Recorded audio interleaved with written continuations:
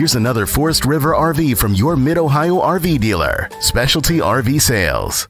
Hi, my name is Sana, and today we're going to be taking a look at the Chaparral by Coachmen 370 FL. Come on, let's go take a look.